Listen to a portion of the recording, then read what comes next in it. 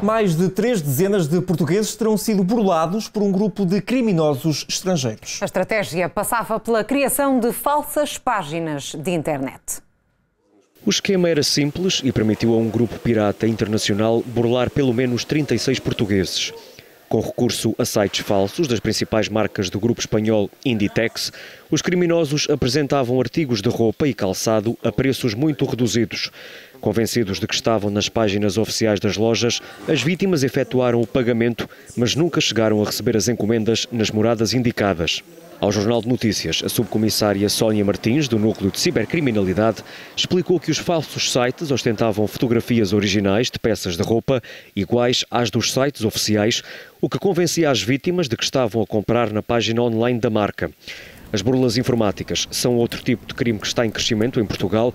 Em 2017, a PSP recebia 3.591 queixas, o número subiu para as 8.706 em 2020 e só no ano passado 9.297 denúncias foram apresentadas na PSP. Sónia Martins garante que ainda assim os números estão longe da realidade, uma vez que muitas pessoas acabam por nunca apresentar queixa.